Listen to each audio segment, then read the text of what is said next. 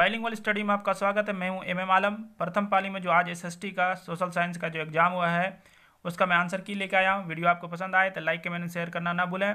और साथ में अगर चैनल में नए मेहमान हैं तो चैनल को सब्सक्राइब कर दें। तो चलिए वीडियो स्टार्ट किया जाए। पहला क्वेश्चन कह रहा है, count Cavour. Victor, count Cavour को विक्टर इमेनुअल ने किस पर नियुक्त किया था? तो आपको प्रधानमंत्री ऑप्शन सी बिल्कुल सही है। चलिए अगला क्वेश्चन देखा जाए। रक्त एवं लोहे की नीति का अवलंबन किसने किया था? तो रक्त एवं लोह की नीति का अवलंबन बिस्मार्क ने किया था। ऑप्शन सी जो है आपका बिल्कुल सही है। साम्यवादी शासन का पहला प्रयोग कहाँ हुआ था? तो साम्यवादी शासन का पहला प्रयोग रूस में हुआ था, लेनिन की सरकार में, के बाद, उन्नीस सौ के बाद। बोल्शेविक क्रांति कब हुई? है तो बोल्शेविक क्रांति को अक्टूबर की क्रांति या नवंबर की क्रांति भी कहा जाता है, क्योंकि दो कैलेंडर था वहाँ, जूलियन कैलेंडर ग्रेगरेरियन कैलेंडर तो उनके अनुसार अक्टूबर, नवंबर होता है। तो ऑप्शन बी आपका बिल्कुल सही है। पाँच नंबर हिंद चीन पहुँचने वाले प्रथम व्यापारी कौन थे? आपके पुर्तगाली थे। छः नंबर में स्वनीय विज्ञा आंदोलन कब शुरू हुआ? तो उन्नीस सौ तीस से चौंतीस तक चला था दांडी मात्रा यात्रा के साथ। तो उन्नीस सौ तीस आंसर बिल्कुल सही है। राउरकेला लो इस्पात उद्योग है आपका, ओडिशा में है, बिल्कुल सही आंसर। सामंती व्यवस्था से हटकर किस प्रकार की शहरी व्यवस्था की प्रवृत्ति बढ़ी? तो शोषणकारी शोषणकारी प्रवृत्ति। ऑप्शन डी बिल्कुल सही लग रहा है। अगर आपको दूसरा लगता है तो कमेंट कर सकते हैं।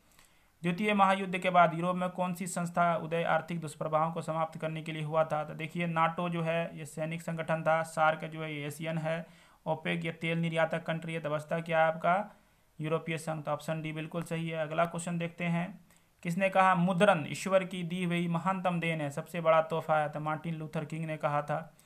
अगला क्वेश्चन देखते हैं। भारत में मतदाता होने की न्यूनतम आयु क्या है? मतलब वोटर होने की। तो आपका क्या है? अट्ठारह वर्ष, जो पहले इक्कीस वर्ष था, इकसठवें संविधान संशोधन उन्नीस सौ नवासी, उसको घटा करके अठारह वर्ष कर दिया गया है। भारत में किस प्रकार की शासन प्रणाली है? तो भारत में दो संघीय शासन प्रणाली भी और संसदीय। तो ऑप्शन बी बिल्कुल सही है, बारह का। तेरह का देखते हैं, संघ राज्य की विशेषता नहीं है। तो संघ राज्य में क्या होता है कि आपका दोहरी स्तर की सरकार होती है। एक एकहरी सरकार एकहरी शासन व्यवस्था नहीं होती है। तो ऑप्शन सी बिल्कुल सही है। चौदह में संघ सरकार का उदाहरण है। तो अमेरिका आपका संघ सरकार का उदाहरण है।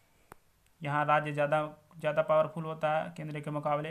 बिहार में संपूर्ण क्रांति का नेतृत्व निम्नलिखित में से किसने किया था? संपूर्ण क्रांति या छात्र आंदोलन? दोनों का किसने किया था? जयप्रकाश नारायण ने ऑप्शन डी बिल्कुल सही है। पंद्रह में देखते हैं लोकतांत्रिक व्यवस्था ने निम्नांकित किन मुद्दों पर सफलता पाई है? तो इसका आंसर जो होगा सबसे ज़्यादा यहाँ पर सटीक बहुमत समूह और अल्प समूह के साथ एक जैसा व्यवहार करता है। ऑप्शन सी बिल्कुल सही है। चलिए निम्न में से कौन सी एक बात लोकतांत्रिक व्यवस्था के अनुरूप नहीं है? तो यहाँ क्या आता है कि बहुसंख्यकों का शासन होना ज़रूरी नहीं है ये अनुरूप नहीं है। ऑप्शन डी बिल्कुल सही है।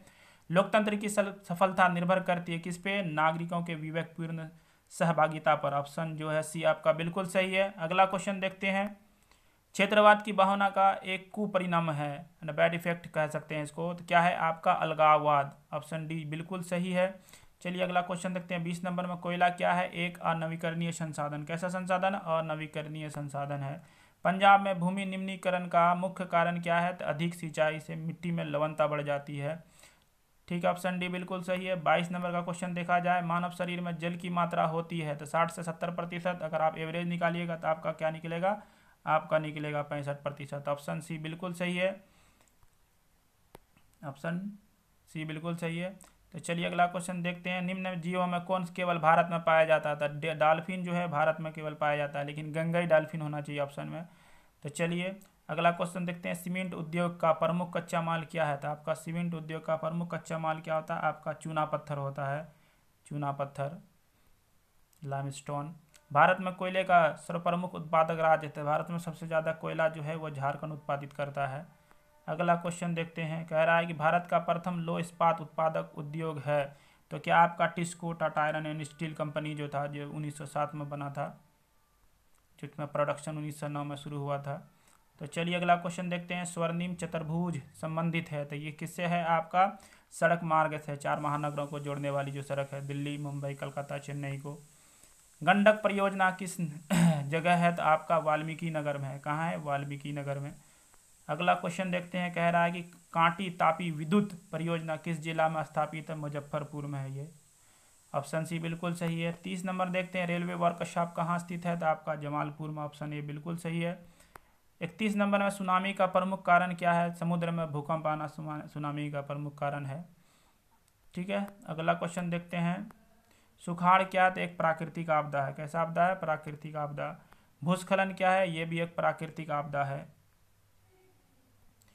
अगला क्वेश्चन देखते हैं, महासागर तल के कंपन का परिणाम क्या आता है महासागर में जब तक कंपन आएगा तो सुनामी आएगा। सुनामी से तीन तीन क्वेश्चन पूछा हुआ है।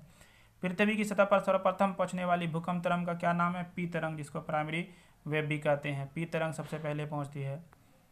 छत्तीस में सुनामी का संबंध है समुद्र से। देखिए, फिर आ गया सुनामी का क्वेश्चन।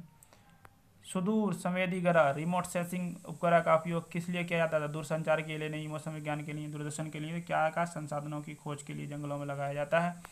अगला क्वेश्चन है आप, निम्न में कौन भूकंप का सर्वाधिक संवेदनशील नगर है? आपका देहरादून हो जाएगा पर्वतीय क्षेत्र है।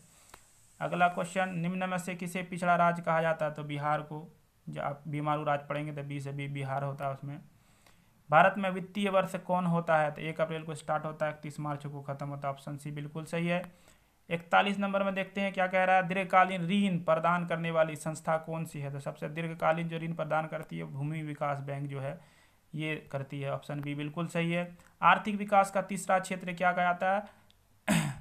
थर्ड जो सेक्टर है, उसको सेवा सेक्टर भी कहा जाता है, सेवा क्षेत्र भी कहा जाता है। ऑप्शन डी बिल्कुल सही है। अगला क्वेश्चन नई आर्थिक नीति में किसे सम्मिलित किया गया है? तो इनमें से सभी को हो जाएगा उदारीकरण को वैश्वीकरण को, निजीकरण को। तो क्या हो जाएगा ऑप्शन डी चौवालीस नंबर, उपभोक्ता द्वारा शिकायत करने की आवेदन शुल्क कितना है? पहले दस रुपये था, लेकिन अब क्या है? बढ़ गया तो इसलिए इनमें से कोई नहीं हो जाएगा। ऑप्शन डी बिल्कुल सही है। उपभोक्ता अधिकार दिवस, विश्व उपभोक्ता अधिकार दिवस जो है, वो मनाया जाता है पंद्रह मार्च को। ऑप्शन बी बिल्कुल सही है। सोलह में वैश्वीकरण के मुख्य अंग कितना थे वैश्वीकरण के मुख्य अंग आपको चार है। उदारीकरण, निजीकरण पढ़े होंगे आप लोग। ये सब मुख्य चार हैं। अगला क्वेश्चन कौन सी सेवा गैर सरकारी है? तो मॉल सेवा गैर सरकारी है आपका। बहुत ईजी क्वेश्चन था। भारत की वित्तीय राजधानी क्या है? मुंबई। तो यहीं पर यह समाप्त होता है। अगर आपको वीडियो पसंद आई तो लाइक कमेंट शेयर करना भूलें। मिलते हैं आपके साथ अगले वीडियो में। तब तक के लिए धन्यवाद। अगर चैनल में नए मेहमान हैं तो चैनल को सब्सक्राइब कर दें। थैंक यू जय हिंद जय भारत।